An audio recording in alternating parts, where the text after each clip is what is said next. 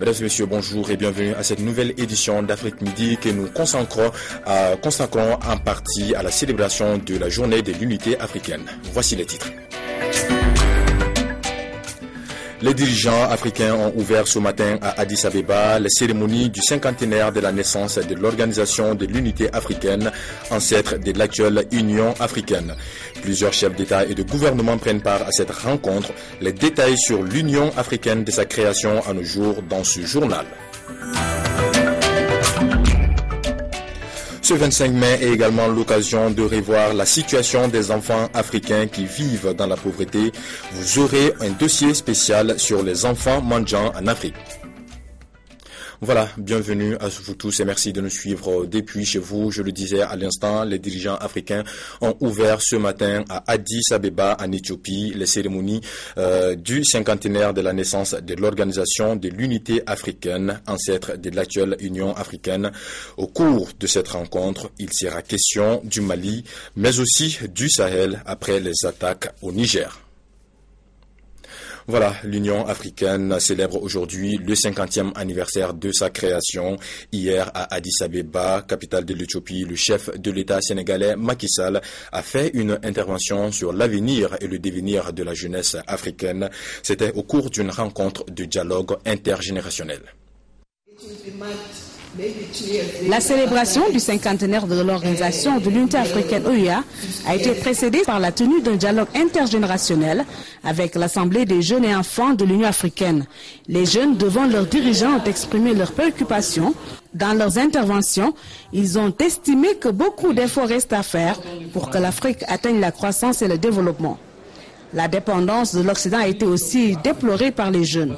Le président Macky Sall a, dans son intervention, appelé les jeunes Africains à prendre conscience de leurs responsabilités dans le devenir de l'Afrique. Il est temps que les Africains se considèrent comme tels, comme Africains et non comme Sud-Africains, Marocains, Sénégalais, Égyptiens ou autres. Avoir un seul passeport de l'Union africaine pour pouvoir circuler librement du Cap au Caire ou de Dakar à Djibouti. C'est ça aussi ce que nous devons faire. La jeunesse est une composante essentielle. Elle constitue la force aujourd'hui du continent africain. Le président Macky Sall souhaite un avenir meilleur pour le continent africain et la génération actuelle a pour mission de transformer ses atouts en potentiel économique et de réussite. Le président de la République recommande aux jeunes à ne pas rester neutres. Ils doivent s'engager pour le futur prometteur de l'Afrique. Ce continent jeune donc a aujourd'hui des atouts. Ne faudrait-il que la génération actuelle qui doit perpétuer le combat des aînés puisse transformer ses atouts et ses potentiels en réussite économique? Un hommage a pu été rendu à Kenneth Kaunda, un des pères fondateurs de l'Organisation pour l'unité africaine, encore vivant. Restons toujours à Addis Abeba, mais cette fois-ci avec un retour sur l'organisation de l'unité africaine, précisément ses secrétaires généraux de 1963 à nos jours. Ils sont au moins une dizaine à diriger l'institution panafricaine. Secrétaire général de l'organisation de l'unité africaine fut le Guinéen Aboubakar Diallo Teli. Élu à 39 ans, il a été celui qui aura le plus marqué de son empreinte l'OIA. Réélu en 1968, il n'a pas pu obtenir un troisième mandat. Le Camerounais Nzo Ekangaki lui succéda en 1972. À 38 ans, il était le plus jeune patron de l'OIA. Il sera remplacé par son compatriote William Eteki Mbumumua en 1974.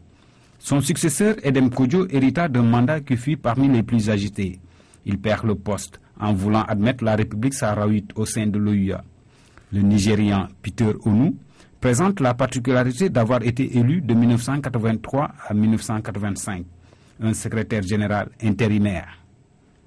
Décédé en 2002, Ide Oumarou avait été élu en juillet 1985, une élection qui mit un terme à l'une des crises internes de l'OUA. Après un mandat, il sera remplacé par le Tanzanien Salim Ahmed Salim en juillet 1989. Ce dernier a battu le record de longévité à la tête de l'OIA avec trois mandats. Son successeur, Amara Essi, est celui qui a veillé à la transformation de l'OUA en Union africaine, avant de passer le témoin à Alpha Omar Konaré. L'ancien président malien est celui qui a posé les bases d'une commission de l'Union africaine. Il va passer le témoin au Gabonais Jean Ping le 28 avril 2008. Ce dernier n'aura pas la chance de faire un deuxième mandat. Le 15 octobre 2012, il est remplacé par la Sud-Africaine Nkosazana Lamini Zuma, la première femme à la tête de l'institution panafricaine. La journée de l'Afrique célébrée hier au Maroc comme chaque année, une place baptisée Unité africaine a été inaugurée pour l'occasion à Rabat, une cérémonie qui s'est tenue en présence du ministre des Affaires étrangères et de la coopération. Une place baptisée Unité africaine au cœur de Rabat, l'initiative hautement symbolique de l'attachement du Maroc au continent donne le ton à la célébration de cette cinquantième journée de l'Afrique. Le Maroc a prévu tout un programme pour célébrer cette journée, ce qui témoigne de l'engagement du Royaume en faveur de la coopération sud-sud, de l'intégration, en faveur de la promotion de la paix, de la stabilité et du développement sur le continent. Le Maroc place le voisinage africain en tête des priorités de sa politique étrangère. Le Royaume est également engagé auprès des pays africains en faveur du développement durable, de l'intégration et de la stabilité. À ce 50e anniversaire de l'Union africaine, le Maroc s'engage résolument au chevet de l'Afrique. Je n'ai pas peur de le dire et je le dis avec conviction qu'aujourd'hui au Maroc, nous avons toute la plateforme, toute la mosaïque qu'il faut, qu'il faut maintenant euh, conjuguer pour aller de l'avant. J'ai la volonté, surtout la volonté, de faire en sorte que l'Afrique bouge. Et si l'Afrique bouge, moi, Maroc avec. La journée mondiale de l'Afrique est célébrée le 25 mai de chaque année et ce depuis 1963, année de la création de l'Organisation de l'Unité africaine, l'occasion de rappeler une nouvelle fois un continent fort, prospère et uni. Je l'annonçais en titre, ce 25 mai et journée de l'unité africaine est également l'occasion de revoir la situation des enfants africains qui vivent dans la pauvreté. Ils sont des milliers dans la rue à mendier ou à exercer des petits métiers. Quel avenir pour ces enfants africains? Le dossier est signé Djakadija Tangara et Daouda Doumbia. Je suis un enfant, je vis et dors dans la rue. Mes amis y sont également je travaille dans cet endroit, mon éducation est là-bas, je me nourris tout seul. Grâce à mes activités, je contribue aux recettes du précepteur. Je mendie tous les jours et ma vie est en danger. Pour ma part, je me sens comme un adulte puisque je ne dépends que de moi. Je ne connais pas le chemin de l'école, je ne connais ni la vie d'un enfant, ni les divertissements infantiles. Chaque soir, je dors avec l'idée de comment trouver les recettes de mon maître coranique le lendemain. Mes parents m'ont confié à ce dernier dans le but de m'enseigner la religion musulmane et le Coran dans la dignité et le respect. Celui-ci est devenu mon pire cauchemar.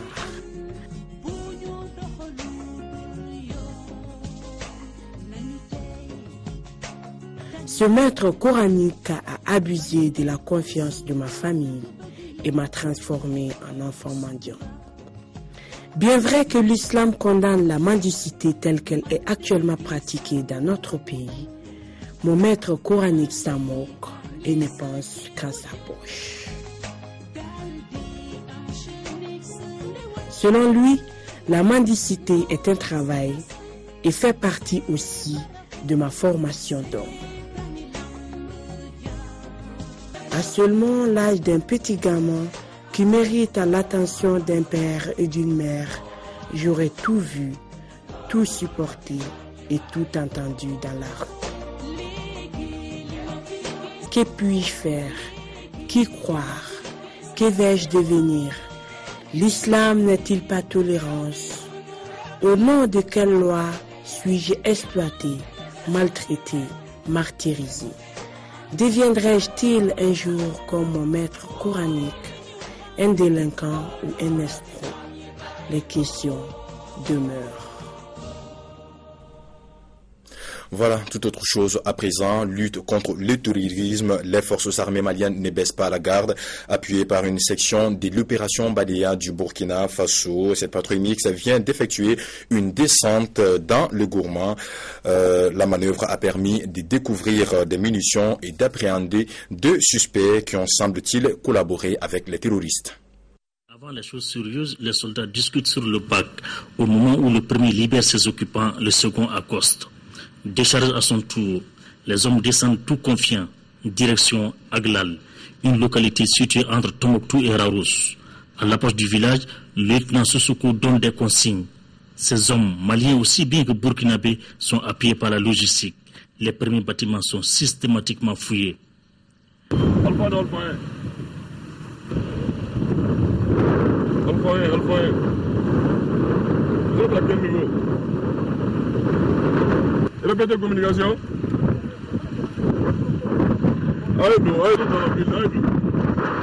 Les instructions sont fermes. Résultat, une caisse de munitions. Cette manœuvre répond à un souci majeur. Euh, le but de cette opération est de sécuriser davantage la population civile. En faisant des patrouilles, euh, fouiller les maisons. La patrouille a permis de rassurer les habitants. Pour gagner ce pari, l'armée a une seule doléance. Tout ce que je vous demande, c'est la franche collaboration avec les différentes armées que vous allez voir. Aujourd'hui, nous sommes là même avec des militaires du Burkina Faso avec qui nous travaillons très franchement. Aussi, il y a l'armée française encore à Tombouctou. Chaque fois que vous avez des informations